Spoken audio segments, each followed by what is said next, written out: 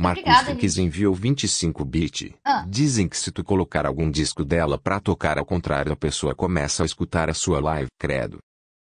A minha professora, que era muito religiosa, ela, ela era muito velha, velho. De- Deus que me livre se ela escutar isso. Não sei nem se ela tá viva hoje em dia, mas ela era muito velha. Parecia uma múmia, mano. De tão velha, de coração, assim. Aí, tipo, ela chegou assim uma vez na sala e falou: Ah, é. Cinde- Cinderela é coisa do demônio, que não sei o quê. Aí a gente perguntou: Por quê, professora? Ela: Não.